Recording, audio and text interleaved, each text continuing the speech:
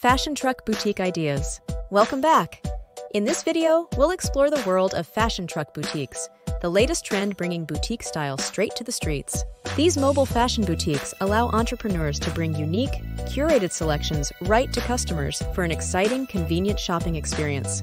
The concept first emerged in LA in 2010 and has expanded across the country. The advantages of running a fashion truck include convenience and mobility to bring your boutique anywhere, creating a fun, personalized shopping trip, lower overheads compared to traditional retail spaces.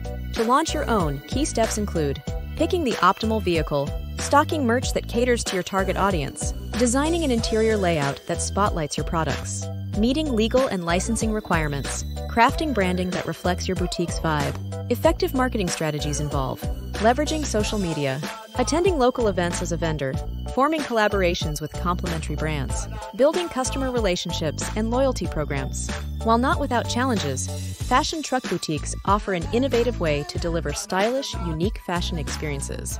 Thank you.